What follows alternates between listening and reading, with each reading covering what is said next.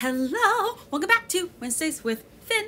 Y'all, we have made it. We are finally at the end of the Kings of Israel. Did this take much longer than I expected it to? Yeah. Will I give up?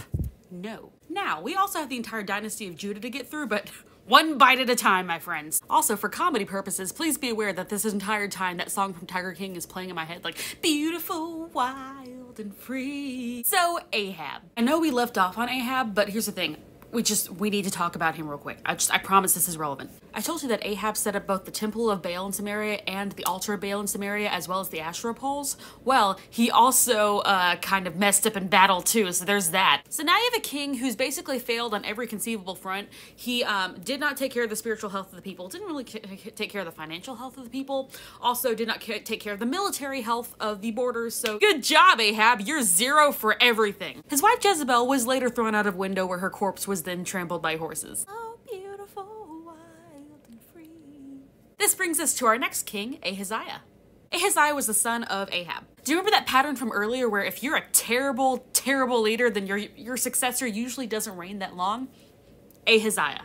As with our other two terrible dynasties, he only reigned for two years. So Moab is rebelling against Israel, right? And at the same time, Ahaziah has just fallen through his roof. I can't put this next part into better words than the Bible did, so I'm just gonna read it out.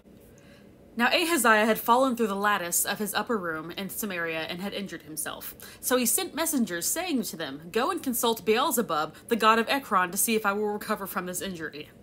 But the angel of the Lord said to Elijah the Tishbite, Go up and meet the messengers of the king of Samaria and ask them, Is it because there is no God in Israel that you are going off to consult Beelzebub, the god of Ekron? Therefore, this is what the Lord says You will not leave the bed you are lying on, you will surely die. So that's what happens. Ahaziah dies and is succeeded by his brother. Our next king is Joram. Joram wasn't as bad a leader as Ahab and Ahaziah. He did get rid of the altar of Baal and the sacred stone of Baal, but he did still keep like the poles. And so he's he gets a solid D, which is better than an F, but is still not passing. The Bible also says that he still clung to the sins of Jeroboam because I'm telling you, Jeroboam does not go away. He's like herpes. When it comes to idolatry, almost getting rid of everything is not enough, my friends. What can I say? We serve an all or nothing God. Joram got shot in the back running from this guy named Jehu, who you might have might remember me mentioning in like the last video. Yeah, he's back. This makes Jehu our next king. Jehu started his reign by killing off Ahab's entire family, including, as I mentioned earlier, having Jezebel thrown out of a window. He also then pretended to be like like a huge uh, devotee to Baal and invited all the ministers to Baal, saying like, "Hey, yo,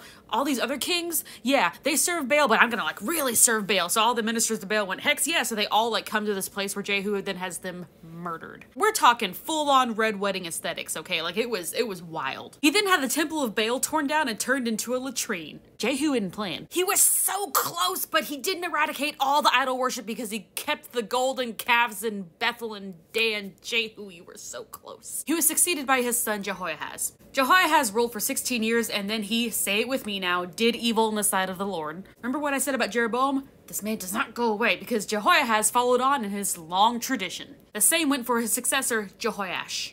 Jehoash was the son of Jehoahaz and ruled for 16 years. He didn't really do much, so we're not going to talk about him. He was, however, succeeded by his son Jeroboam II, who is an apt successor to Jeroboam I in every single conceivable way. Yay. I'll say this for Jeroboam II. Dude reigned for 41 years. He restored the kingdom's borders to what they had been under Solomon. The kingdom flourished under him. Unfortunately, their spiritual health did not. Y'all remember that pattern of how when you are a terrible leader, your successors will not last a long time? He was succeeded by his son, Zechariah, who only reigned for six months. As with Elah, one of Zechariah's officers then conspired against him and had him killed. So, side note, if you notice that there is a lot of like repeating issues in your life that tend to go back generations, yes, it might be a generational curse that needs to be broken off, but also Maybe check and see if your behaviors are aligning with those of your ancestors who did meet the best fate. Anyway, our next king is Shallum. Shallum ruled in Samaria for a month before he too was assassinated by our next king. That king's name is Menahem. Menahem was also a jerk, but he reigned for 10 years. His most notable accomplishment is ripping open the bellies of pregnant women of the city of Tiphsah for not opening their gates to him. Oh, that and indenturing the entire nation of Israel to the nation of Assyria in order to strengthen his hold as king. You know, just kingly things. I'm sure that won't come back to bite us. Spoiler alert, it does. Menahem is then succeeded by his son. Our next king is Pekahiah. Pekahiah only reigned for two years because, as we have previously established, when your predecessor stinks, you are screwed. Particularly if you yourself are also not inclined to follow the Lord. Pekahiah was assassinated by his chief officer, Pekah. Pekah! Pekah! King Pekah reigned for 20 years. This is gonna shock you, but he also did evil in the sight of the Lord.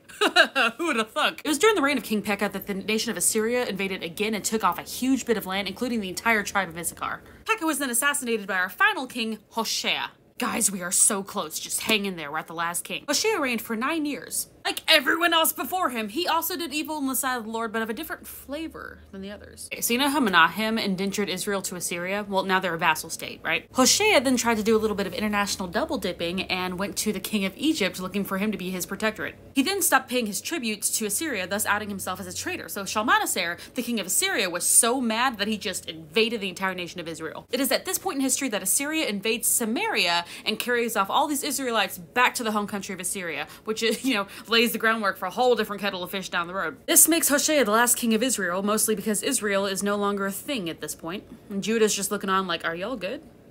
No? Okay, we're just, we're just gonna be over here. Uh, y'all have fun with that whole exile thing. So, what can we learn from this entire cycle of buffoonery? Firstly, like I said last time, guard your legacy. Oh my goodness gracious. Guard it so jealously that others are looking at you funny, all right? Because your decisions can and will affect people up into the third generation. I don't care if it's your kids or your leadership at church or if, it, if you're at your job. Just, ah, we're all leaders, okay? In our own special sphere. Be careful. Secondly, you cannot halfway serve God. You cannot have a temple to whatever sitting in your backyard while professing Jesus in your front. It is not going to work. Not only are you poisoning your own life, you are also poisoning the lives and the reigns of those who will come after you. Stop it. Thirdly, if you're gonna clean house, clean house. Like I said earlier, don't do it halfway because the piece that you leave behind will grow, okay? That piece that you leave behind can poison just as easily as the big pieces that you, you got rid of. Well, that got combative. This was a long one, y'all, but I thank you so much for sticking it out with me. Thank you so much for your support and your love. I am so grateful for all of you. Next week is the Kings of Judah. Pray for me, y'all, but it's gonna be, it's not gonna be as wild as the Kings of Israel, so we're good. In the meantime, stay safe, make wise choices, and happy Wednesday. Bye!